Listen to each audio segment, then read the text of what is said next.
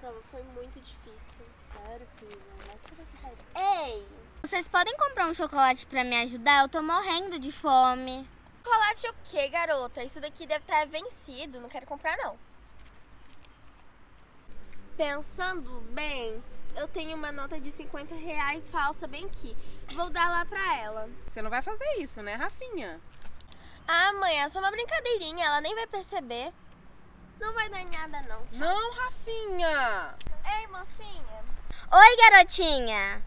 Eu vi que eu tinha esses 50 reais bem aqui. Pode ficar pra você, mas eu não quero chocolate, não. Tchau. Muito obrigada, garotinha. Vai me ajudar muito. Alguns minutos depois. Uai, aquela menininha tá chorando.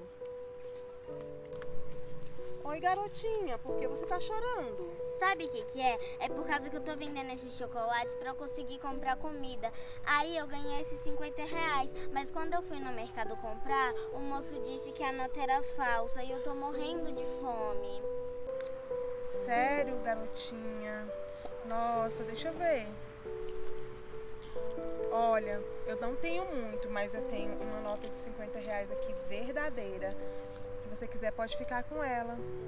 Sério, moça, muito obrigada. Vai dar pra eu comprar muita comida. Que Deus te abençoe. Espero que você venda todo o seu chocolate, tá? Boa sorte. Assim como existe várias pessoas ruins nesse mundo, ainda bem que existem muitas pessoas boas ainda. E vocês, galerinha, concordam comigo?